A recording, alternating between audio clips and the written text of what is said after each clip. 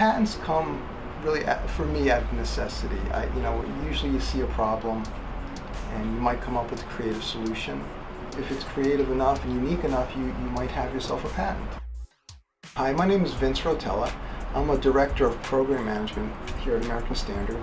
Uh, the products that I manage uh, basically include the bathing and shower categories, whirlpools, furniture, cultured marble, shower doors, um, terrazzo, stainless steel, porcelain enamel sinks. For American Standard, um, products I helped develop and in fact uh, received a patent for it, and I should give credit to Gary Yule.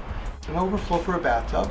Everyone's seen an overflow. It's that little round knob that's somewhat below the, uh, fa the, the, the faucet, and it prevents the tub from overflowing, and it also disallows the tub from getting too deep solved uh, an expensive problem simply at, at the time if you wanted a deep soak like that you had to pay thousands of dollars for a, a, a tub almost like an infinite edge pool type tub.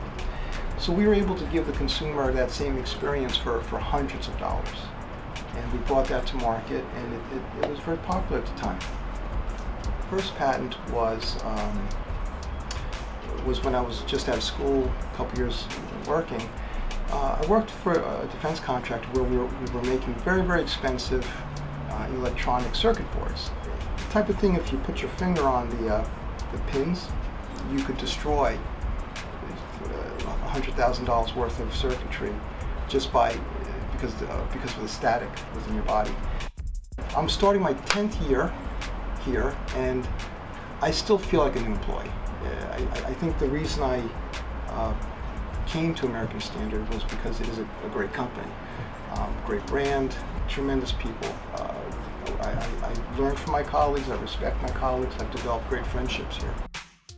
The other two patents are, are des uh, design patents, and I worked um, with Daigo Ishiyama, another of our, a great colleague. It, it was really uh, aesthetic that we brought to the market. It showed, a, it had a rope twist formed into a plastic shell for both a bathtub and a wall.